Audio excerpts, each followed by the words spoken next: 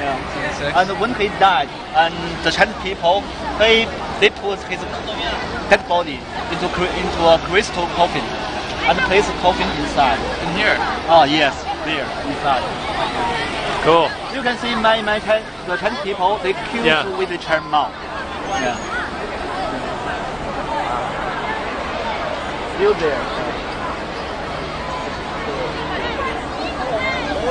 So is coming uh, to see this like a lot of Chinese come to see him? Yeah, yeah, Yeah. a lot of. But today is better. Once I saw once, yes, the people queue to for Chairman Mao surrounded the Tiananmen Square two circles. Yeah. Wow. Wow. so many, so many people. Wow.